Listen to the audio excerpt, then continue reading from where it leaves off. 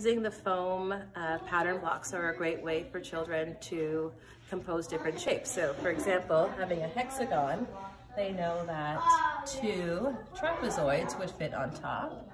Or for example, they can also use the rhombuses and even two triangles to cover it.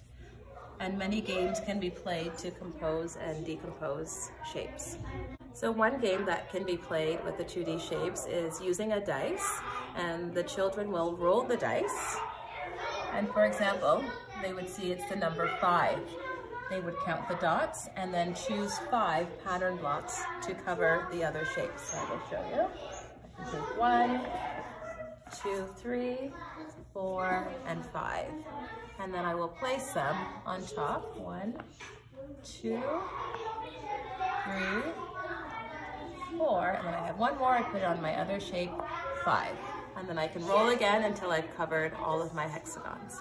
And another activity that can be done with the early years and pattern blocks is when children are playing with them, they usually build something that is symmetrical.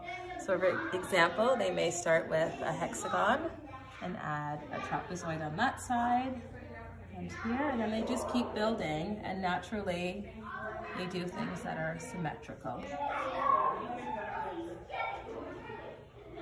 And it keeps on growing and going.